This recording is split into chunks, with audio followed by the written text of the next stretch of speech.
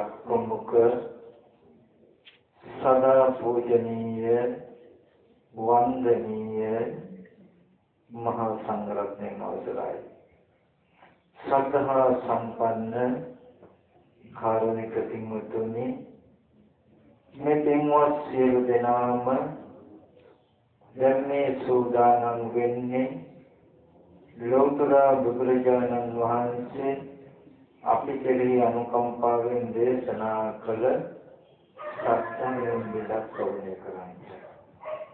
ඒ වගේම අපි හැම දිනාගේම ජීවිතයට නව අරුතක් ලබා දෙන්න පුළුවන් වටිනා දවසක් අද.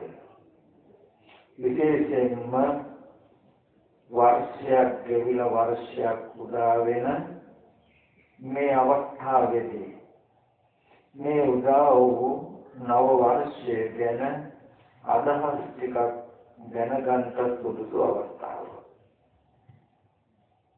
ගොඩාක් දෙනෙක් අපි හැමෝටම හම්බ වෙනකොට දකින්නකොට ආශිර්වාද කරනවා මතක් කරනවා සුබ නව වර්ෂයක් වේවා යහපත් අදහස් බලාපොරොත්තු ඉෂ්ට වෙන වර්ෂයක් වේවා කිරියෙන් දෙන්නේ ඉතිරෙන වර්ෂයක් වේවා කියලා ආශිර්වාද කිරීම හොඳයි ඒත් අපි තේරුම් කරගන්නට ඕනේ වටිනා ටික බුද්ධිය. සුගම සුබ වර්ෂයක් වෙන්නේ කොහොමද? සුබ නොව අසුබ වර්ෂයක් අපේ ජීවිතවලට උදා වෙන්නේ කොහොමද කියන එක. ඒකට වටිනා අවවාදයක් කතාගතයන් වහන්සේ දේශනා කළා තියෙනවා මහණෙනි නුවණ විසින් නුවණ ඇති අය විසින් කලින් කල ආත්ම සම්පත් ආත්ම විපත් මන සම්පත් මන විපත් මෙනෙහි කරලා බැලිය යුතුයි කියලා මම ඒක පැහැදිලි කරලා දෙන්නම් නුවණැති පුරුෂයෝ විසින් තම තමන් කෙරෙහි ආත්ම සම්පත් ඒ කියන්නේ තමන්ගේ ජීවිතේට යහපතක් උදා වෙච්ච ක්‍රමවේදය. ආත්ම විපත් තමන්ට අවදක් අයහපතක් වෙච්ච සිද්ධි. මර සම්පත් තමන්ගේ අනුන්ගේ යහපතක් වෙච්ච සිද්ධාන්තය. මර විපත් තමන්ගේ අනුන්ට වෙච්ච කරදර මෙන්න මේ වගේ දේවල් තියෙනවා නම් ආපහු ජීවිතයේ හැරිලා කලින් කලට මෙහෙම කරලා බැලිය යුතුයි කියනවා. අන්නේ බුද්ධ ආදී උත්තමයන් වහන්සේලා අප අපේ ජීවිතවලටම නැඹුරු වෙලා අපේ ජීවිත ගැන අපි එහෙම බැලිය යුතු නම් සිටිය යුතු නම් අන්න එහෙම බලන්ත අන්න එහෙම හිතන්ත හොඳ අවස්ථාවක් මේක. මේ වගේ අවස්ථාවන් සුදුසුයි අපිට අපේ ජීවිතයේ ආපස්සට පොඩ්ඩක් හැරිලා බලලා ඉදිරියට එන ජීවිතය හදාගන්න. වර්ෂයක් ගෙවිලා වර්ෂයක් උදා වෙන මේ අවස්ථාව සුදුසුයි.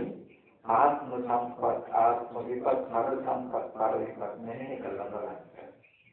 ඒ තමයි ජීවිතය ගැන හැමෝම සිහි කළා ගෙවුණු අවුරුද්ද දිහා බැලුවොත් තමන්ගේ ජීවිතයට යහපත පිණිස හිත වැඩ පිණිස තමන් නැති මොන මොන දේවල් සිද්ධ වෙලා තියෙනවද සිද්ධ කරගෙන තියෙනවද කියලා ආවර්ජනා කරලා බලන්න මොකද දවසක් ගන්න.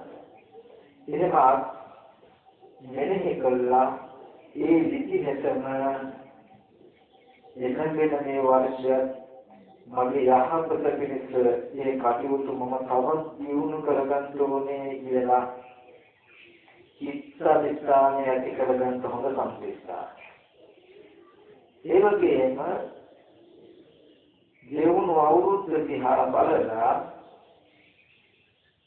මගේ ජීවිතේ මෙන්න මේ මේ ක්‍රියාවන් මගේ අයහපත පිණිස මගේම අවැඩ පිණිස දවතුනා මම අතින් සිද්ධ වුණා. මේ එළඹෙන මෙන්න මේ වර්ෂයේ මට අවැඩ පිණිස මට මාහිත පිණිස පවතින මේ දේවල් මම සිද්ධ කරන්නේ නැහැ සිද්ධ කරන්න හොඳ නැහැ කියලා තමන්ගේ විපත්තිය ගැන ආවර්ජනා කරලා බලන්න හොඳ අවස්ථාවක්. හරි සම්පත්. ජීවුණු අතීතයේ අවුරුද්ද දිහා බලලා අනේ මගේ අතින් බොහෝ දෙනෙකුට මේ මේ විදි යහපතක් වෙලා තියෙනවා වැඩක් වෙලා තියෙනවා කියලා බලලා ඒ වගේම ඒකත් වඩා එළඹෙන මේ අවුරුද්දත් මම තව බොහෝ දෙනෙකුට යහපත පිණිස ඉතරට පිණිස කටයුතු කරනවා කියලා අධිෂ්ඨාන කරගන්න හොඳ අවස්ථාවක්. ඒ වගේම ගෙවුණු අවුරුද්ද දිහා බලලා මගේ අතින් බොහෝ පිරිසකට බොහෝ අයට මේ මේ වගේ නොකටයුතු වෙලා තියෙනවා. මගේ කයින්, හිතෙන්, වචනේ අනෙක් අයගේ හිත් විදෙන, අනෙක් අයට පාඩු වෙන හිංසා වෙන දේවල් කියලා තියෙනවා. එහෙම තියෙනවා නම් අදිස්ථාන කරගන්න සුදුසුයි. එළඹෙන මේ වර්ෂය මම ඒ අනුපාඩුවට ඉඳ තියන්නේ මගේ අතින් තව කෙනෙකුට හිංසාවක් පීඩාවක් එන්න මම කටයුතු කරන්නේ කියලා ඒ වැරද්ද හදාගන්න හොඳ සම්පස්ථානයක්. වර්ෂයක් ගෙවිලා වර්ෂයක් උදා වෙන මේ අවස්ථාව ඒ විදිහට ආත්ම සම්පත් ආත්ම විපත් පර සම්පත් පර විපත් මෙනෙහි කරලා බලන්න හොඳ හොඳ ආදවසක්. අන්න එහෙම මෙනෙහි කළා ආත්ම සම්පත් පර සම්පත් ඇති කරගන්න ආත්ම විපත් පර විපත් ජීවිතෙන් අයින් කරගන්න කටයුතු කරන කෙනාට මේ වර්ෂයේ සුභම සුභ වර්ෂයක් වෙනවා. කිරියෙන් පෙනෙන ඉතන වාසනාවන්ත වර්ෂයක් වෙනවා. තමන්ගේ අවද පිණිස අහිත පිණිස කටයුතු කෙරෙන පරිවිපත් අනෙක් අයට තමන්ගේ අවද පිණිස අහිත පිණිස කටයුතු කෙරෙන ක්‍රියාපටිපාටියක් අපි තුල තිබුණොත් මොනතරම් ප්‍රාර්ථනා කරලා අනිත් අය වචන කිව්වත් සුභ වර්ෂයක් වෙන්න කියලා සුභ වර්ෂයක් වෙන්නේ ඒ නිසා සුභ වර්ෂයක් වෙන්නේ හෝ අසුභ වර්ෂයක් වෙන්නේ තමන් තුළ ඇති කරගන්නා වූ සුචරිතය හා දුක්චරිතය මතයි කියන කාරණාවක් තේරුම් අරගෙන හැමදෙනාම කාය සුචරිත වා සුචරිත මනෝ සුචරිත කියන ත්‍රිවිධ සුචරිතයේ හැසිරීලා තමන්ට අන්තයට යහපත පිණිස කටයුතු කළා. තමන්ට තමන්ගේ ජීවිතය තමන් නිසා අනිත් අයටත් සුභම සුභ වර්ෂයක් උදා කරගන්න ලැබේවා කියලා මුලින්ම ආශිර්වාද කරමු. ඒ වගේම තමන් ලැබපු මේ ජීවිතය තමන්ට ලැබුණු මේ ජීවිතය තුල තමන්ට ලැබුණු මේ නව වර්ෂය තුල ජීවිතය සුභ කරගන්නේ කොහොමද කියන කාරණාව දැනුම් සහගතව තේරුම් සහගතව වඩාත් හොඳින් කරන්න පුළුවන් වෙන විදිහට.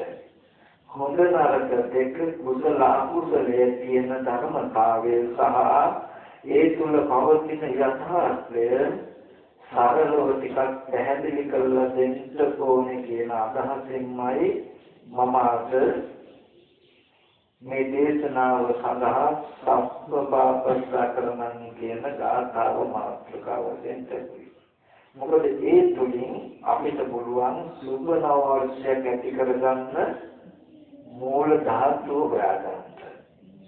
අසුබ වර්ෂයක් කරගන්නේ මොන වගේ ක්‍රමයකටද කෙනෙකුටද කියලා තෝරගන්නත් පුළුවන් නිසා.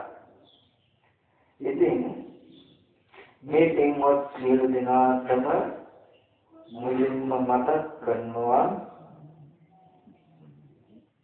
ඉස්ලාමත්ම ඕනේ කමෙන් ඉතාමත්ම උවමනාවෙන් හිතේ හිතේ එක එක දේවල් හිතන්නේ නැතුව මේ දේශනාව ඉතාමත්ම ඕනේ කමෙන් ශ්‍රවණය කරන්ට කියලා මතක් කරනවා. මම අද ධර්ම දේශනාව සඳහා මාතෘකා වශයෙන් ලැබුවේ මේ බුද්ධ ශාසනය තුළ බොහෝම වටිනා තැනක් හිමි වෙලා තියෙන ධාතා රත්නය. සබ්බ පාපස්සා කරනං කුසලස්ස උපසම්පදා සචිත්ත පරියෝ දපනං ඒතං බුද්ධාන ශාසන. මේ ගාථාව ඔබල ගොඩාක් කෙනෙක් ගන්නවා ඇති. හොඳට අහලා ඇති. කටට හොඳට පුරු පුරුදුත් ඇති. නමුත් මේ තුල මෙලොව පරලොව උභයාර්ථයම ගැබ් වෙලා හොඳ සහ නරක මනාව පැහැදිලි කරලා දෙන ඉතාමත්ම වටිනා අර්ථයක් තියෙනවා කියලා සමහර විට ඔබ දන්නේ නැතුව ඇති. මේ ගාථාව ගත්තාම මේ ශාසනය තුල බොහෝම ශ්‍රේෂ්ඨ දැනකට යනවා. යම් දවසක බුදුරජාණන් වහන්සේ සියලු කෙලෙස් නැසල සම්මා සම්බුද්ධත්වයට පත් වුණා නම් යම් දවසක අනුපදිශේෂ පරිරුවන දාසයෙන් පිරුම් පාවදාලන ඒ අතරතුර මේ ලෝකයාගේ හිත පිණිස සැප පිණිස යමක් දේශනා කළා නම් අන්නේ දේශනා කළ සියලුම ධර්මයන්ගේ අර්ථය කෙටි වෙලා කැටි වෙලා තියෙනවා මේ ගාථාවල. කවුරු හරි ඔයගොල්ලන්ගෙන් අහුවොත් මේ බෞද්ධ දර්ශනය ඔයගොල්ලන්ට කෙටි කරලා කියන්න පුළුවන්ද කියලා මෙන්න මේ ගාථාව කිව්වට කමක් සත්තු පාපස් ආක්‍රමණ කුසලසෝක සම්පද පච්චතම විරදපන සියලු පව් කරන්ට එපා කුසල කරන්ට සචිත්ත පරියෝධපන සිය සිත තමන්ගේ සිත පිළිදෙවි කරගන්නට ඒකන් බුද්ධහන්න ශාසන. එය බුදුරජාණන් වහන්සේලාගේ අනුශාසනාවයි.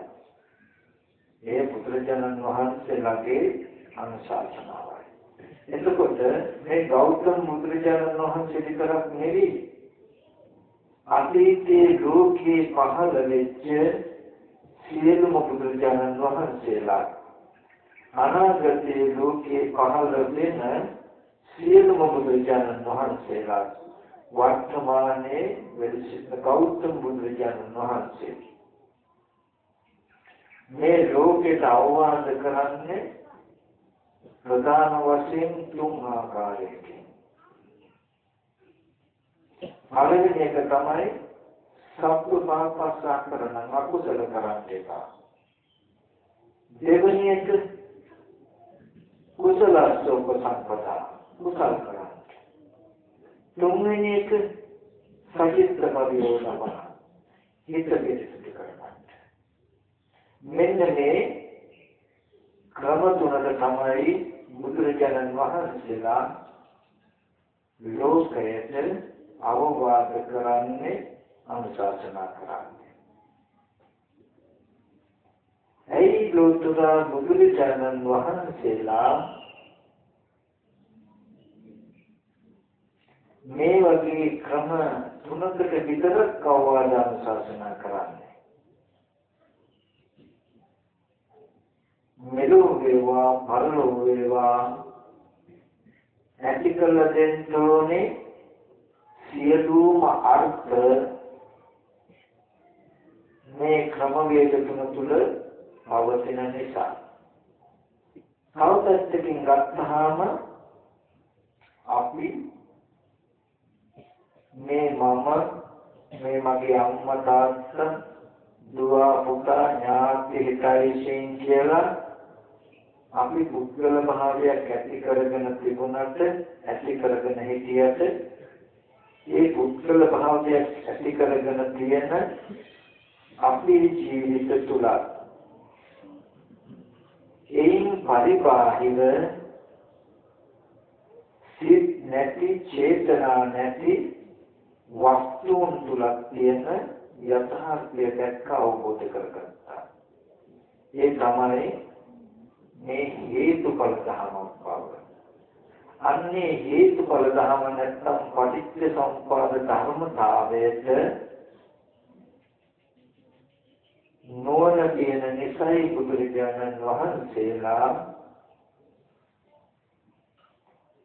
අකුසල කරන්ට එපා කුසල කරන්ට හිත පිරිසුදු කරගන්න කියලා අවවාදන ශාසනා කරන්නේ මම මේ පින්වතුන්ට ඒ කාරණාව තේරෙන විදිහට සරල උපමාවක් නිදර්ශනක් අරගෙන පැහැදිලි කරන්න. මේක නිකාමත් හොඳින් ආලා තේරුම් ගන්නට ඕනේ. නිමුතුනි මේ ලෝකයේ යථාර්ථය හැටියට බුදුරජාණන් වහන්සේ දැක්කේ හේතුවක් නිසා ඵලයක් ඇති වෙනවා ඵලය ආපහු හේතුවක් වෙනවා කියලා හේතුඵල ධර්ම. අපිට තේරෙන භාෂාවකට ගත්තොත් අපි යම් කිසි ගහක් හැදෙන බීජයකට පොත්කටයක් වගේ දෙයක් ගත්තොත් පොත් ඇටේට කියනවා හේතුවක් කියලා බීජයක් කියලා. ඒ කොස් ගහට කියනවා ඒ ඇටෙන් හැදෙන කොස් ගහට කියනවා ගෙඩි වලට කියනවා ඵලයක් කියලා. කොස් ඇටේ හේතු කොස් ගහ ගෙඩි ඵලය. ආපහු කොස් ගහ ගෙඩියේ හේතු වෙලා තව කොස් ඇටයක් හැදෙනවා ගහ හේතු කොස් ඇටේ තමයි. මෙන්න මේ වගේ හේතුව ඵලය ඵලය හේතුවක් වෙනවා කියන ධර්මතාවයක් තියෙනවා. ඔන්න ඔය හේතුඵල දහම මුද්‍රණ භාවය පවත්වන අපේ ජීවිත බාහිරත් බුදුරජාණන් වහන්සේ දැක්කා. ඒක මතක් කළොත් අපි තවටකින් මේ පින්මුතු ගන්නවා කොහොමද කියන එක. කොහොමද කියන්නේ මිහිරි වූ මිහිරි ස්වභාවයෙන් යුක්ත රසයක් හේතුල නැහැ. හේතුල තියෙන්නේ කටුක කටෝර අමිහිරි රහ සිත්තයි. ඒ කොහොමද ඇටයකට කියනවා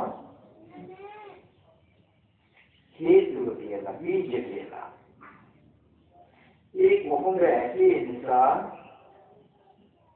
කොහොමද ගහක් හැදෙනවා නම් කොහොමද ගෙඩි හැදෙනවා නම් මේකට කියනවා ඵලය කියලා.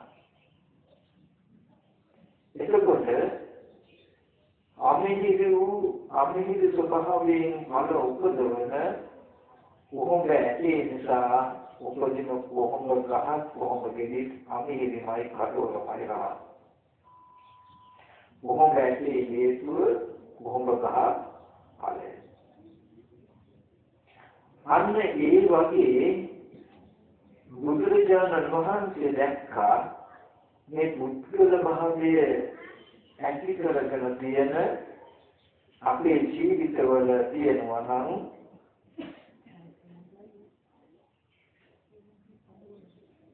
කාය දුස්චරිත වාග් දුස්චරිත මනෝ දුස්චරිත කියන අකුසලයක්.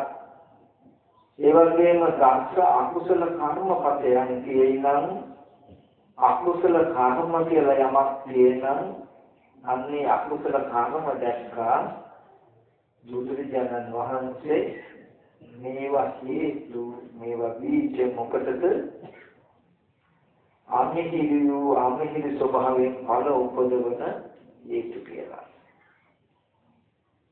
එතකොට අකුසල කර්ම නැමැති බීජ තිබුණොත් එයින් හටගන්න ඵලය අමිහිරි වූ අමිහිරි ස්වභාවයෙන් එකක්මයි. කොහොමද ඇටයක් අමිහිරි රස ඇති කොහොමද ඇටයක් හිටෙව්වහම මිහිරි රස ඇති ගෙඩි හැදෙන්නේ ඒ වගේ අකුසලය නැමැති හේතු ටික දැක්ක බුදුරජාණන් වහන්සේ මේවා හේතු මේවා බීජ මොකේද අමිහිරි වූ අමිහිරි ස්වභාවයෙන් මල උපදන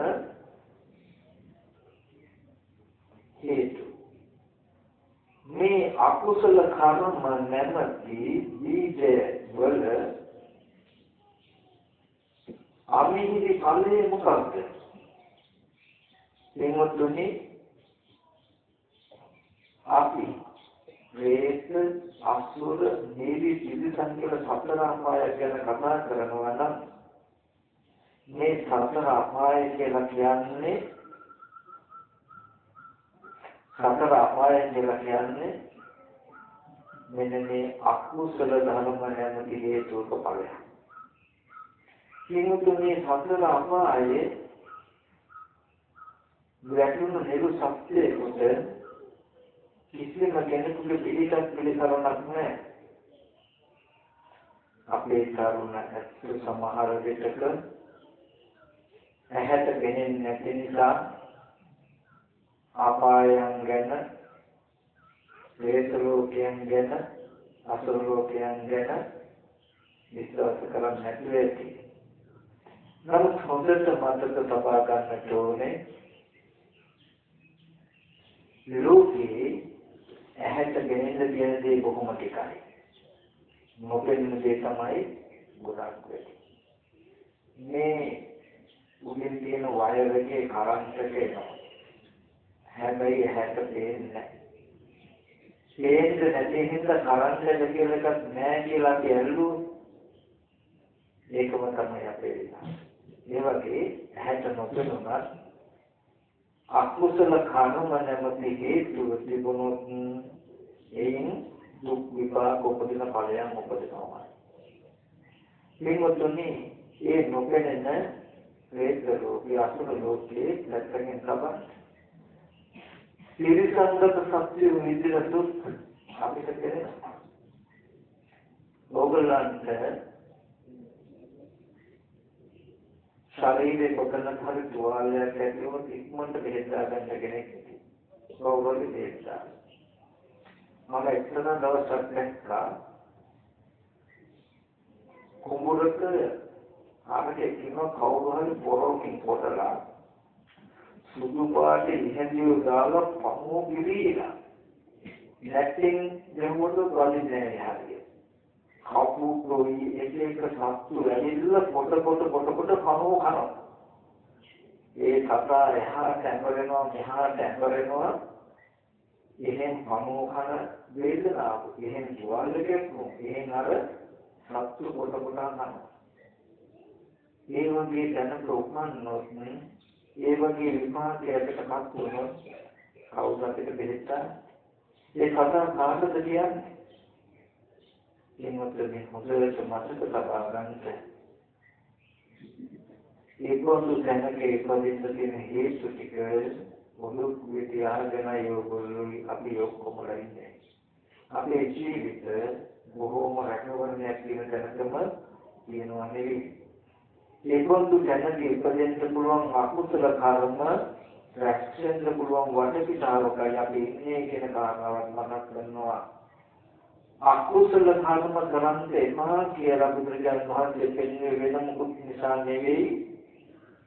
ඒබඳු කාර්යවත් පිළිසක් පිළිසක්වත් නැතුව දුක් විඳින්න වෙන ආත්ම භාව විපාක ලැබෙන නිසායි. සත්‍ය පාපස්සා කරනන් කියලා දේශනා කළේ අමිහිරි වූ අමිහිරි ස්වභාවයෙන් යුක්ත මල උපදවන විපාක හදාගන්න එපා කියන එක. තව පැත්තකින් ගත්තාම මේ හේතුඵල ධර්මයේ ස්වභාවය බලන්න හේතුව ටිකක් වුණාට ඵලය ටිකක් වෙන්නේ හේතුව හැටියට අපි දැක්කේ කොහොමද ගත්තොත් එක කොහොම බෑට යන මොකද බලන්න. ඒ කොහොම ඇටේ නැලෙලා ගහක් හැදිලා යෙදි හැදෙන්න ගත්තාම ඒ ගහේ යෙදි කොච්චර හැදේ? 100 1000 ලක්ෂ කෝටි අවුරුදු 10ක් 15ක් මේ කොහොමදවත් තිබුණොත් යෙදි කොච්චර හැදේද නමුත් ඒ තරම් යෙදි ගොඩක් ගොඩ පළදාවක් හැදෙන ඒ ගහ හදන්න හේතු මේක ඇදේ ඒ වගේ අකුසල කර්මයේ එකක් වෙන්න පුළුවන් එකක් වෙන්න පුළුවන්. ඒක පළදරන දවසක ජීවිතයේ දුක හිමි වෙන්නේ ජීවිතයෙන් දුක ගෙවන්න වෙන්නේ ආත්ම භව සීයයි 1000යි ලක්ෂයයි කියලා කියන්නේ. ඉතින් හේතුව ටිකක් වුණත් මනසේ බොහෝ වෙන බව දන්න නිසා බුදුරජාණන් වහන්සේ කරුණාවෙන්ම සම්ප පාපස් ආත්මරණං දේව දෙනවා. සත්තු පාපස්ස අකරණම් කියලා කියන්නේ බොහෝ කාලයක්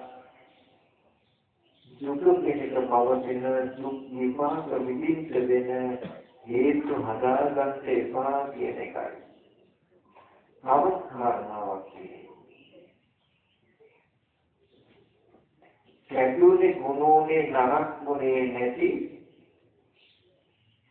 බොහොම ඇටයක් දීම හිතෝලා හොඳට පස් තියෙන දෙකමනේ තියෙන දැනට හිතෝලා අපි ඔක්කොමලා වැඳගෙන ප්‍රාර්ථනා කළොත් අනේ මේ කොහොමද දැලෙන්න එපා දැලෙන්න එපා කියලා ඒත් අපේ ප්‍රාර්ථනාව මොනසලකා කොහොමද කියන්නේ මොකද ඒක වෙන්නේ හේතු ටික නිසා. ඒ වගේ යම් කිසි කෙනෙක් කයින් හිතෙන් කයෙන් වචනෙන් අකුසල කර්ම කරලා අනේ මේක විපාකයේ මට එන්නේපා මට එන්නේපා කියලා ප්‍රාර්ථනා කළත් කිමුතුනි ඒක විපාකයේ නෑදෙන්න දෙන්නේ ඒ නිසා බුදුරජාණන් වහන්සේ එහෙම ප්‍රාර්ථනාවකින් කැමැත්තකින් වළක්වන්න බැරි නිසා ඒ හේතුවට ඵලයක් උපදින ඒ කර්මයේ විපාකයක් ඇති වෙන නිසාම සබ්බ පාපස්සා කරනන් කියලා දේශනා කළා. ලෝකයේ දුක දැකලා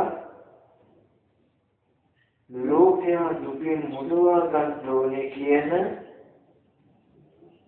කරුණා මහා කරුණාවෙන් යුක්ත හදවත ඇති නිසාම මේ ලෝකයට අවවාද කරනවා අවනුශාසනා කරනවා සබ්බ පාපස්සා කරනම් කියලා. ඒ කියන්නේ තමන්ටම දුක පිණිස විහෙත පිණිස පවතින ආල උපදින කර්ම රැස් කරගන්න එපා කියන එකයි.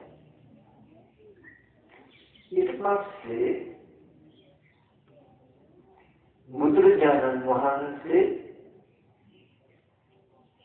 ලෝක සත්‍යයේ සැපයට ඊර්ෂ්‍යා නොකරන නිසා සැපේ සමන් වහන්සේ වඩා සතුටු වෙන කැමති වෙන මුදිතා ගුණය තියෙන නිසා නිවනි මෙපිට ලෝකයේ තුල සැනසෙල්ල හෝ ලබා දෙන්න ඕනේ නිසා සියලු යහපත ලබා දෙන්න ඕනේ කියන අදහසින් කුසල සුපසම්පදා කියලා කියනවා.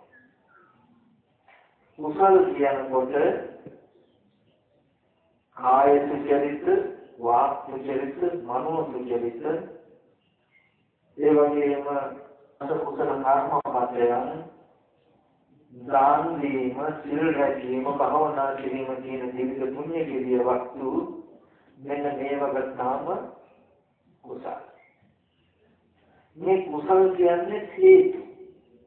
කුසල කියන්නේ බීජ. මොනවට හේතුද මොනවට බීජද මිහිරි වූ මිහිරි ස්වභාවයෙන් යුක්ත ඵල උපදවන හේතු. මින්වතුනි නියම කියලා කියන්නේ මිහිරි වූ මිහිරි ස්වභාවයෙන් යුක්ත ඵලයක්. ඒකතු නියම ඇටයකට කියනවා හේතුව කියලා. ඒ නියම ඇටේ නිසා ගහක් හැදිලා අඹ ගෙඩි හැදිලා ඉදෙනකොට ඒකට කියනවා ඵලයක් කියලා. නියම ඇටේ හේතුව නියම ගහ නියම ගෙඩි ඵලය. මිහිරි වූ මිහිරි ස්වභාවයෙන් යුක්ත ඵල උපදවන නියම ඇටේ නිසා කොහොම හැදෙන්නේ හැදෙන්නේ මිහිරි වූ ඵලයක්මයි. ඉතින් බුදුරජාණන් වහන්සේ දැක්කා මේ කුසල ධර්මයන් කියන්නේ හේතුවක් බීජයක්. කුමකට හේතුද කුමකට බීජද? මිහිරි වූ මිහිරි ස්වභාවයෙන් යුක්ත ඵල උපදවන හේතුවක් මේ හේතුඵල ධර්මයේ හරි බුදුම ධර්මතාවයක් තියෙනවා. කොහොම ඇත්තේ කොහොම ගහ කොහොම ගෙඩිත් ඵලයක් කොහොම ඇත්තේ හේතු. මිනිහම ඇත්තේ හේතුව මිනිහම ගහ මිනිහම ගෙඩි ඵලය. දෙකම හේතුඵල ධර්ම වුණාට කවදාවත් වෙනස් වෙන්නේ නැති බීජනාන්තයක් තියෙනවා. ඒ තමයි කොහොම ඇත්තේ කිව්වොත් මිනිහම ගෙඩි හැදෙන්නේ නැහැ. මිනිහම ඇත්තේ කිව්වොත් කොහොම ගෙඩි හැදෙන්නේ නැහැ. මිහිරි හේතුක හැදෙන ඵලය මිහිරිමයි අමිහිරි හේතුක හැදෙන ඵලය අමිහිරිමයි ඒ වගේ මේ අකුසල කරන්නේ අකුසල කරන්නේ කියලා බුදුරජාණන් වහන්සේ පනවන්නේ අකුසල හේතු වලට මිහිරි ඵලයක් උපදින්නේ නැහැ මිහිරි හේතු වලට අමිහිරි ඵලයක් උපදින්නේ නැහැ අමිහිරි හේතු උපදින ඵලය අමිහිරිමයි මිහිරි හේතු උපදින ඵලය මිහිරිමයි කියලා දැකපු නිසා ඒ නිසා බුදුරජාණන් වහන්සේ කුසල සුඛ සම්පදා කියලා ලෝකයට අවවාදන ශාසනා කරනවා කුසල කරන්ත කියලා. කුසල කරන්ත කියන්නේ ඒක තේරුම මොකක්ද? බොහෝ කාලයක් මිහිරි වූ මිහිරි ස්වභාවයෙන් යුක්ත ඵල උපදවන හේතු හදාගන්න කියලා අදහසයි. මේවත් ගන්ධ එක අඹ ගහක අඹ ගෙඩියකට කියනවා හේතුව බීජය ඒ හේතුවේ බීජය නිසා අඹ ගහක් හැදිලා අඹ ගහේ ගෙඩි හැදෙන්න ගත්තොත් කොච්චර හැදෙයිද ගෙඩි 100යි 1000යි ලක්ෂයයි කියලා කියන්න පුළුවන්. මේ අඹ ගහ අවුරුදු 15ක් විතර තිබුණොත් හැදෙන ගෙඩි කරන හේතුව ටිකක් වුණාට ඵලය ටිකක් වෙන්නේ ඒ වගේ බුදුරජාණන් වහන්සේ දැක්කා මේ කුසල නැමැති බීජය යම් කිසි කෙනෙක් ඇති කරගත්තොත් කුසල නැමැති හේතු යම් කිසි කෙනෙක් හදාගත්තොත් ඒ උපදින ඵලය මිහිරි ස්වභාවයෙන් යුක්තයි. ඒ මිහිරි ඵලය ආත්ම 100යි 1000යි ලක්ෂයයි කියලා කියන්න බෑ. එච්චර බොහෝ වෙනවා කියලා දැක්කා. මේ කුසලයේ නැති හේතුවකට හටගන්න මිහිරි ඵලය මොකක්ද? අපි මිනිස්යෝ කියලා කතා කරනවා. දෙවියෝ කියලා කතා කරනවා. බ්‍රහ්මයෝ කියලා කතා කරනවා. අපි දෙවියෝ මිනිස්යෝ බ්‍රහ්මයෝ කියලා පුද්ගල භාවයෙන් කතා කළාට මේ කුසලයේ නැති හේතුවක ඵලයක් කුසලයේ නැමැති හේතුවකට තමයි දෙවියන් උපදින්නේ. සිංහතුනි මේ හේතුන්ගෙන් උපදින කුසලයන්ගේ ඵලය නැතින. බුද්ධාදී උත්තරයන්ගේ අවවාද පිළිගන්න. සත්පුරුෂ ඇත්තෝ අතීතේ තමන්ගේ ජීවිතයට වඩා කුසල කිරීම සුචරිතේ හැසිරීම උතුම් උතුම් ක්‍රියාවක් කොට සැලකුවා. ඒකට හොඳ වටිනා කර්තිම නිදර්ශනක් තියෙයි. අපේ මේ ශ්‍රී ලංකා ද්වීපයේම අනුරාධපුරයේ සත්තා විස රජුගේ රජකම් කරන කාලේ තිස්ස කියන එක සන්නාලි කෙනෙක් හිටියා. සන්නාලි කියන ඇඳුම් මහලක්ෂිවත් වෙන්නේ.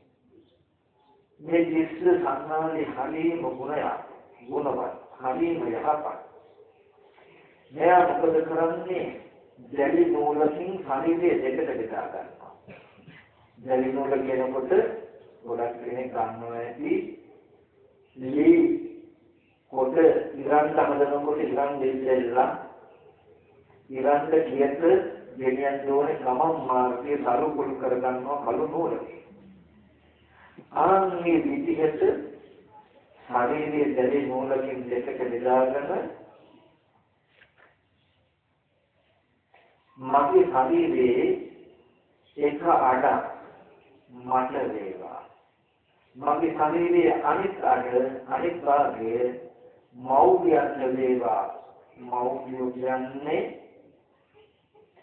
තමන්ගේ හයිය අපිට දීලා දුර්වල වෙච්ච අය තමන්ගේ තරුණකම අපිට දීලා මහලු වෙච්ච අය.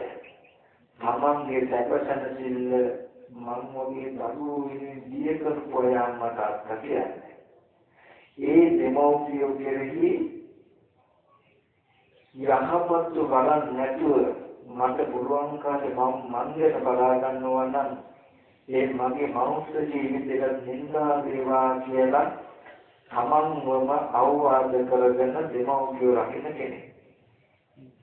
ඉතින් ශරීරයේ දෙකට බෙදාගෙන ඇඳුම් මහන කර්මාන්තය කරනවා. උදේ ඉර පාය කුවේලේ ඉඳන් දවල් 12 වෙනකන් යමක් හම්බ කළොත් ඒ හම්බ කරපුදී එයා සතුටු. ඒකෙන් එයා මොකද කරන්නේ? දවසකට එක නමකට දෙක නමකට පස් නමකට දහ නමකට දානය අරගෙන දෙනවා.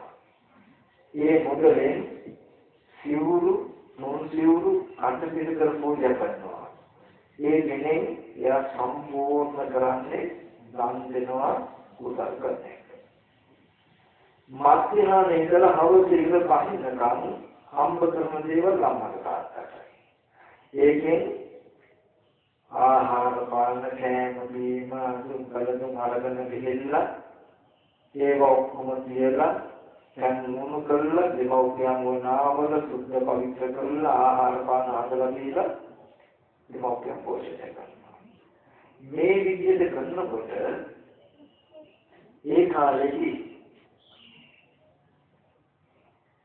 හිත දියුණු කරපු බොහෝ විචුන් වහන්සේලා දවල් කාලේ දිවා විහරණය පිණිස තවුසා දිව්‍ය ලෝකයට ඒ තවුසා දිව්‍ය ලෝකයේ කිසිම දෙවියෙකුට සමාන කරන්න බැරි සාමාන්‍ය ජීවියෙන් ඒ දිහා බලන්නවත් බැරි ඒ තරම් විරජමාන වෙච්ච ඒ තරම් විදුල ඒ තරම් ප්‍රමා ප්‍රමාමත් අතිශය වටිනා මාලිගාවකට අටනවා හැබැයි කවුරුවත් නැහැ. අහනවා ඒ රහතන් වහන්සේලා සත්‍යලියන්ගේ මේ මාළිගා දෙක කාර්යය. ඊට කියනවා එකක් මනුස්ස ලෝකේ රාජ්‍යකම් කරන ලක්ෂාදීකේ රාජ්‍යකම් කරන සබ්දාවිස රාජ්‍යෝවේ අනිත් දෙක අනුරාධපුරේ ඉන්නවා පිස්ස කියලා සංඝාලයේ අන්නේ සංඝාලයගෙන කියනවා මේ ඉතිරිලා තියෙන මාලිගාව තාමම ජීවත් වෙනවා නමුත් මේ කුසල ධර්මයන්ගේ ඵලය ඉපදෙන්න ඕනේ මොන්නේ ශක්තිය ඉපදිලා. එන්නනවා මේ කන්නාලි ඉස්ස කන්නාලි වෙන්නේ මොකක්ද? මේක මනුස්ස ලෝකෙට ඇවිල්ලා රජෙකට විද්‍රපාත යදිනකොට වික්ෂණවන්ත සබ්දාතිස රජුන් ප්‍රකාශ කරනවා. සබ්දාතිස රජු මේ ඉස්ස කන්නාලි වෙන්නලා අහන ඇත්තද ඔබ මෙහෙම එහෙමයි දෙයක්. ඉස්ස කන්නාලි කියන්නේ හරිය උතුප්පක් කියන්නේ. හරිය විහෙත මහන්සියෙන් හම්බ කරගෙන ජීවිතේ ජීවත් කරන විග්‍රහ කරනවා. ඊට පස්සේ මේ රාජ්‍යලෝ මොකද කරන්නේ? න්යාගේ කුසලයේ පැහැදිලා කුසල ක්‍රියාවේ පුණ්‍ය ක්‍රියාවේ පැහැදිලා බොහෝ වස්තු සම්පත් දීලා තවත් හොඳට ඉන්ද්‍රහන් කරවයි කියලා අවවාද කළා. ඊට පස්සේ විශ්ව කන්නාවේ ඒ සියලු ධනයම උපයෝග කරගෙන තවත් හොඳට ඉන්ද්‍රහන් කළා සුගතිගාමී වෙච්ච බව සඳහන් වෙනවා. එතකොට මේ මොකද? කුසලස්ස උපසම්පදා. කුසල කිරීමේ වටිනාකම දැක්කෝ නිසා බුද්ධ ආදී උත්තරයන්ගේ අවවාද අනුශාසනාව කරපු නිසා. බුදුරජාණන් වහන්සේ කුසලස්ස උපසම්පදා කියලා දේශනා කළේ මේ විදිහට තමන්ගේ ජීවිතයට බොහෝ කාලයක් හිත පිළිස සැප පිණිස පවතින කර්ම රැස් කරගන්න හදාගන්න ඵලයන් උපදින කර්ම හදාගන්න රැස් කරගන්න කියන එකයි. හේතු ඵල තහම ඒ තුල කුසලයයි අකුසලයයි දෙකම හේතු සතර ආයයි මනුෂ්‍ය ලෝක දිව්‍ය ලෝක භ්‍රම ලෝකයි කියන දෙකත් ඵලයයි. අකුසලයේ නැමැති හේතුයේ ඵලය සතර අපාය කුසල නැමැති හේතුයේ ඵලය මනුෂ්‍ය ලෝකේ දිව්‍ය ලෝකේ අපේ ජනවහරේ කතාවක් තියෙන්නේ හය හතරවත් මොදේරම දරුවා කියේ. ඒ හය හතර දන්නේ කියන්නේ ලෝකෙට හොඳ නරක දන්නේ කියන්නේ. හතර කියන්නේ සතර අපායට යන දේ දන්නේ. හය කියන්නේ දිව්‍ය ලෝක හයට යන එක දන්නේ හොඳ නරක දෙක දන්නේ කියන අදහස. ඉතින් මෙන්න මේ වගේ සම්පූර්ණ පාමර්ථා කරන කුසල සෝප සම්පදා කියලා බුදුන් වහන්සේ දේශනා කළා. ඒ දේශනාව අද වගේ දවසක දීපක් කරගන්න වඩා සුදුසුනිසයි මම මාතෘකාවෙන් කරුවේ. මොකද ගෙවුණු අතීතයේ ගෙවුණු අවුරුද්දට වඩා මේ අවුරුද්ද අපිට සාපකාමපස්සා කරන අකුසල කර්මයි ප්‍රකම් කුසල සෝපන පද කුසල උපදවා ගන්නට අනිස්ථාන කරගන්න හොඳ අවස්ථාවක් නිසා. අකුසල ධර්ම නොකිරීමේ කිරීමෙන් සතරාපාය දුක ලැබෙන බව දන්න නිසා ඍජුවම දුක එන මාර්ගය නිසා අකුසල ධර්ම නොකොට දුකතියකට සතරාපායට ගිහිල්ලා විඳින්න තියෙන දුක් ටික වළක්ව ගන්න පුළුවන්. සාත්වපරමස්ස අකරණන් කියලා දේශනා කළේ ඍජුවම දුක ලැබෙන හේතු ටික නතර කරලා දුකට යන මාවත වහනා ගන්න. කුසලස උපසම්පදා කියලා දේශනා කළා මනුස්ස ලෝකේ දිව්‍ය ලෝකේ තියෙන යම් සම්පත්තියක් යහපතක් දිනන ඒක ලබා දෙන අදහස. ඊට පස්සේ බුදුරජාණන් වහන්සේ දේශනා කළා පටිච්චසමුප්පාදෝදපන. සිය චිත්තෙ විසුදු කරගන්න. අකුසල ධර්ම කරන්නේ එපා. ඒකේ හතර පාය යන්නේ වළක්ව ගන්න. කුසල සෝමසම්පද කුසල කරලා මනුෂ්‍ය ලෝකේ දිව්‍ය ලෝකේ සම්පන්නතුව උපදින්න. හැබැයි ඉතින් නතර වෙන්න දේශනා කළේ නැහැ. සංක්ෂිප්තකරියෝ දක්වනවා. අකුසල ධර්ම නොකොට කුසල ධර්ම කරමින් එපමණකින් නතර නොවි තමන්ගේ හිත පිරිසිදු කරගන්න උත්සාහවත් වෙන්න කියලා මතක් කළා. ඇයි බුදුරජාණන් වහන්සේ හිත පිරිසිදු කරගන්න කියලා අවවාදම් ශාසනා කරන්නේ. පින්වත්නි අපේ හිත අපේ හිත අපේ පිළිදු වෙලා තියෙනවා ක්‍රම දෙකකට. එකක් තමයි නීවරණ කියලා කෙලස් කොටසක් තියෙනවා. හරියක් තියෙනවා ආමුෂය කියලා කෙලස් කොටස් දෙකක්. මෙන්න මේ කෙලෙස්යන්ගෙන් අඳුරු වෙච්ච සිත පිරිසුදු නොවුණු සිත හරියට ලදුනේ වගේ. කවදාවත්ම නොලැබෙන දේවල් ප්‍රාර්ථනා කරලා අහගෙන අය වගේ. බොලයි. එයාට ධර්මයේ යථාර්ථයේ කියන්නේ. අපි මෙහෙම මතක් කරොත් මොලංග ලිංග එහෙම තියෙනවනේ කියලා. ලිංග එහෙම රැකලා තියෙනවනේ. හරි අපි මොලි පරීක්ෂණයක් කරනවා. ඔන්න ඔය විදග්ගාවට ගිහිල්ලා ඔන්න මම මේ කියන එක කරලා බලන්න. විදග්ගාවට ගිහිල්ලා ලොකු කළු කලක් අරගෙන ගිහිල්ලා විද කතායි. හැබැයි නිකන් නෙමෙයි hina වෙන්න නෙමෙයි නිකන් නෙමෙයි අකරන්නේ. මෙන්න මේව ප්‍රාර්ථනාවක් කරනවා. මේ ගල යටයන් දෙපා උඩමා වේවා කියලා ප්‍රාර්ථනා කරනවා. අතරින් මොකක්ද කියන්නේ? යටයන්නේ ඉතින් අපි ප්‍රාර්ථනා කරුවානේ ගල යටයන් දෙපා උඩමා වේවා කියලා. අපි ප්‍රාර්ථනා කරුවට නියාමයේ නියාමනයට ප්‍රතිවිරුද්ධ දෙයක් වෙන්නේ නැහැ නේද? යට යන කල යට යනවා මිසක උඩ පාවෙනවා කියලා අපි ප්‍රාර්ථනා කළාට එහෙම හැම දෙයක්ම ප්‍රාර්ථනා කරන පමණකින් වෙන්නේ හරි. සිද්ධ වෙන ස්වභාවික නියාමනයන්ට ප්‍රතිවිරුද්ධව විපරිතව හිතුවහම ඒකේ ඇති අනෙක් විමාකේ බලපොන්නා. අපි විදේට කලක් දැම්ම යක්ෂයන් දෙක උදව් වේවා කියලා. ඒ අපි ප්‍රාර්ථනාව ගැන අහන්න නැතුව කල යටේ. බලන්න ඉදීම කැමති දේ නොලැබීමේ දුක ඇතිලා නැද්ද කියන්නේ. අපි කැමති ගල උදපාවෙනවා බලන්න දකින්න. ඒ ගල යට ගියා අපිට ඉදීම කැමති දේ නොලැබීමේ දුක ඇතිලා. මේ මුතුනි මේ කැමති දේ නොලැබීමේ දුක අපිට ආවේ ගල යටේ ඉඳලා වැරදි ප්‍රාර්ථනාවද කාටද? නැති ප්‍රාර්ථනාව නිසා යන්නේ ගල උඩමා වේවා කියලා ප්‍රාර්ථනා කළ යම් කෙනෙක් දුක් වෙනවන ඒ දුන්නේ නැහැ කියලා ඒක වගේ කෙනෙක් දෙන්න මොකද උගලන්නේ කියන්නේ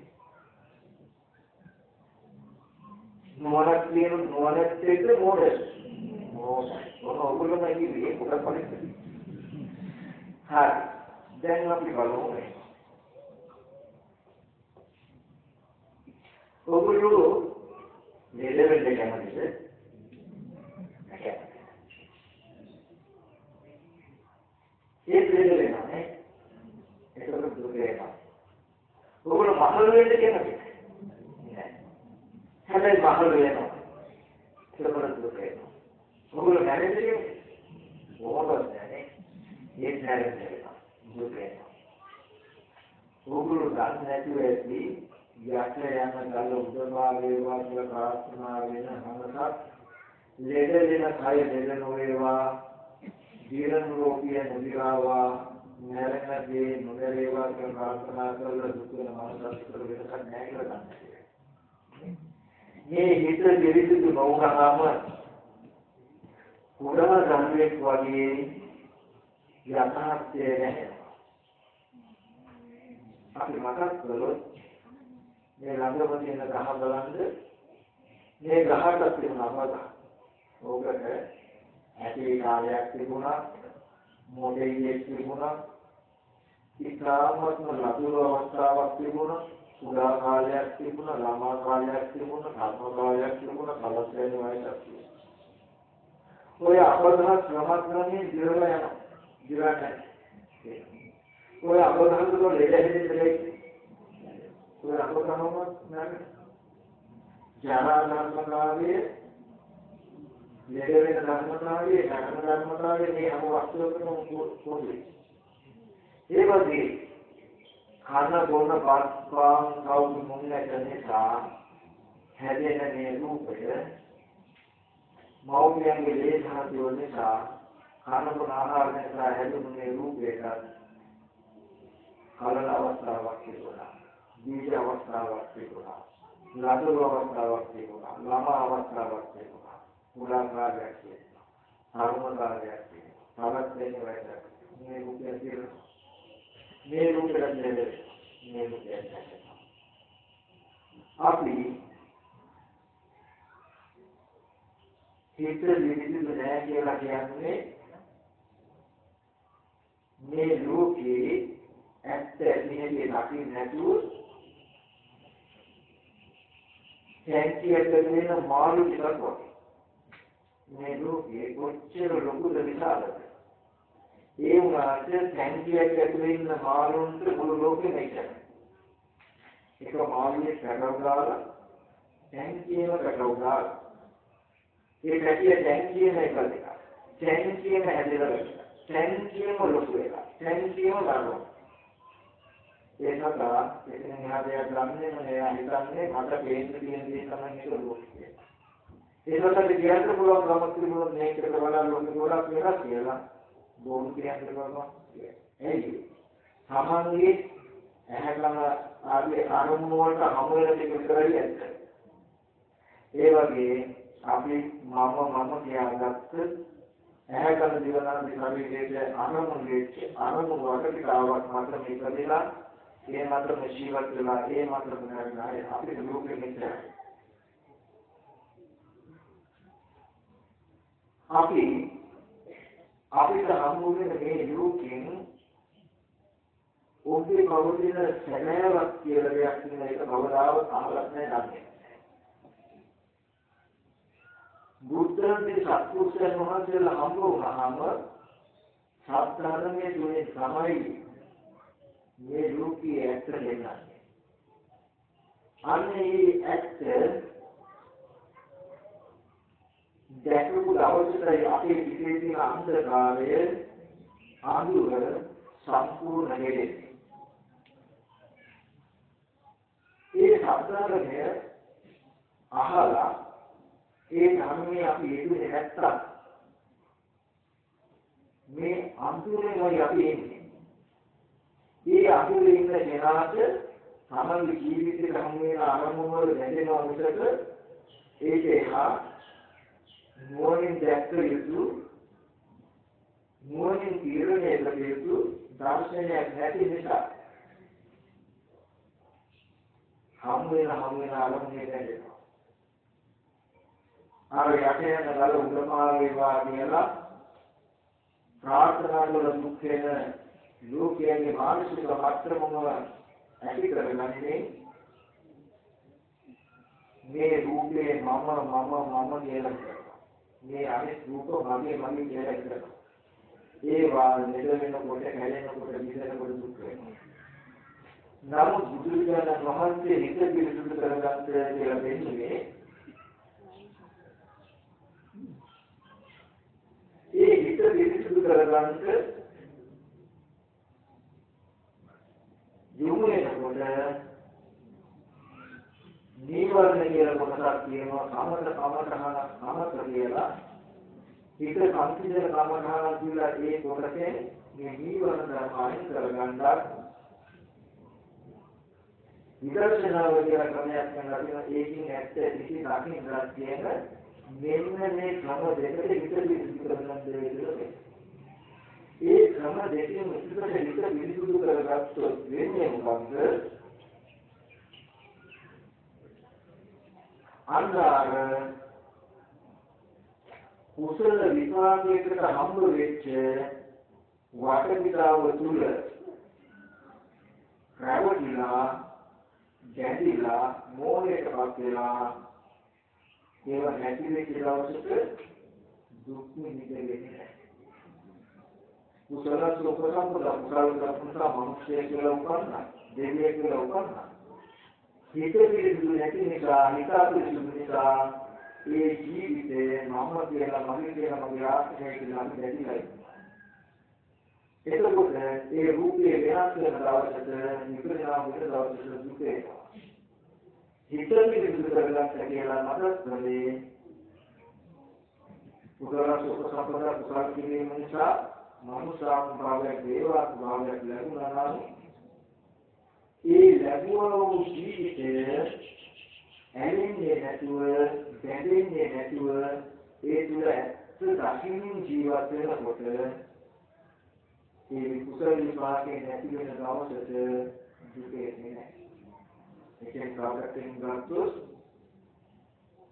ඒ ලබු මනුෂ්‍ය ජීවිතේවත් ඒ දේවාත්ම භාවයවත් ඇලෙන්නේ බැඳෙන්නේ නැතිව උතුම් නිර්වාණ සම්පත්තිය සාක්ෂාත් කරගන්න පුළුවන් මේ ඉතිරි දුරු කර ගැනීම. අකුසල ධර්ම නොකලහම සතරාපායේ දුක අපහැරෙනවා. කුසල ධර්ම කළාම මනුෂ්‍ය ලෝක දිව්‍ය ලෝක වල සැප ලැබෙනවා. හිත විරුද්ධ කරගත්තාම මනුෂ්‍ය ලෝක දිව්‍ය ලෝක වල තියෙන දුකක් තියෙනවනම් මේ ටික විදිහට වෙන්නේ ඒ සැප නැතිවීමෙන් එන දුකක් තියෙනවනම් ඒ ටික විදිහට වෙන්නේ ඒ කියන්නේ නිර්වාණ සත්‍යයක් ලැබෙනවා කියන එක. ඉතින් මෙන්න මේ සුගතිය අහිං කළ සුගතිය ලබා දෙන්න සුගතියක පැවැත්ම නැති වෙන දවසට ඒක දුකක් නොවි කෙලෙස්වලින් නිවින කිරිනෙන් තියෙන මෙලොව පරලොව කියන දෙකෙන් ලෞකික ලෝකෝත්තර කියන සියලු මාර්ග හේති කරලා කැටි කරලා තමයි සබ්බ පාපස්සා කරන කුසල සෝපසම්පද පරිත්‍ත බලියෝ දකනන් කියලා දේශනා කළේ. ඉතින් මේ විමුක්තුන් කල්පනා කරගන්න ඕනේ අද දවසේදී ඒ බුද්ධාදී උත්තරයන් වහන්සේලා ප්‍රශංසා කළ විදිහට ජීවිතයේ අකුසල ධර්ම අයින් කරන්නත් කුසල ධර්ම ටික ටික හරි පූර්ණය කරගන්න වර්ධනය කරගන්නත් ඒ වගේම ඉඳ ලැබෙන සෑම වෙලාවකම සමතකම කාණකින් නැත්නම් ඇත්ත ඇති හැටි දකින්න විදර්ශනා නුවණකින් හිත පිරිසුදු කරගන්නත් වෙන මෙන්න මේ තුන් අවවාදයට අනුවම කටයුතු කරන්නට හැදෙන්නේ හැම දිනම උත්සාහවත් වෙනවා. යම් කිසි කෙනෙක් අපි කියමු සමහර විටක අපි අකුසල ධර්ම කරන්නේ නැහැ. බුදුරජාණන් වහන්සේගේ එක අවවාදයක් කියන්නේ. හැබැයි කුසල් කරන්නේ හිත පිළිබඳ කරන්නේ. ඒ කියන්නේ අවවාද දෙකක් කරන්නේ මේකවලේ. ඕගොල්ලන්ගේ දරුවේ වැඩ තුනක් කිව්වොත් එකක් කරනවා වැඩ දෙකක් නොකරන දරුවෝ සීකරු කියනවා. කියන්නේ. දරුවෙක් ඉන්නවා තව වැඩ දෙකක් කරනවා එකක් කරන්නේ. ඒකේ ඒ සීකරු කියන්නේ. කියන හැම වෙලක්ම කරනවා තමයි සීකරු කියන්නේ. ඒ කියන්නේ අකුසල කරන් දෙනවා කුසල නම් දෙක පිසුදු කරගන්න කියලා සාස්ත්‍රුන් වහන්සේ අපිට මතක් කළා. අපි අකුසල කර්ම කරන්නේ හැබැයි කුසල කර්ම කරන එකයි හිත පිසුදු කරගන්න එකයි දෙක කරන්නේ නැත්නම් අපි බුදුරජාණන් වහන්සේට බොහෝ කීකරු සාවකයෝ වෙනවා. හරි අකුසල කර්ම කරන්නේ අපි ඉඳලාගෙන විදිහට බොහෝ දෙනෙක් කුසල කර්මත් කරනවා. ධම් දෙනවා, පිළිගන්නවා කුසල කර්මත් කරනවා. හැබැයි පරිත්‍තර පරිවර්තන හිතට පිළිතුරු කරගන්න එකට නම් ගොඩක් දෙන්න හැදුවේ නැහැ. එතකොට එයා හැමතිස්සෙම කියනවා. නෑ යම් දෙයක් දෙන්නේ කකුල ගන්න නොකරන්නේ කුසල ධර්ම කරන්නේ හිතට පිළිතුරු කරගන්න ඕන අන්නයා බුද්ධ ආදී උත්තරයන්ට කීකරුව කටයුතු කරන උපාසක උපාසි ශ්‍රාවක යන ගණේ යනවා යම් කිසි කෙනෙක් නියම ජීව උපාසක උපාසිකාවක් වේද එයා කවදාවත් වදරපාටට යන්න ලේසි නෑ ඉතින් මේ අවස්ථාව අවස්ථාවක් කරගන්න බුද්ධ ආදී උත්තරයන් වහන්සේලා අපිට යම් කිසි අවවාද කළාද මේ විදිහට මේ අවවාදයන් දෙකලා මම මේ ලබු මනුස්ස ජීවිතයෙන් බලක් ප්‍රයෝජනයක් ඇති කරගන්නවා මේ හැම දෙනාම අදිස්ථාන කරගන්න ඕනේ. ඒ සඳහා මේ දේශනාව හේතු කොටස්ලියම වේවා කියලා හොඳයි එහෙනම්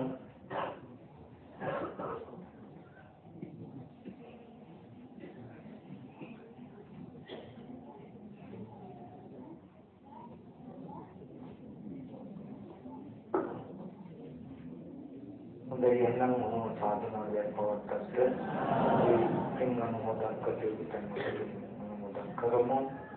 මේ දේශනාව තුළින් ජනිත වෙච්ච සියලුම කුසලයන් විශේෂයෙන්ම මේ විහාරස්ථානය ගොඩනගලා සංවර්ධනය කළා.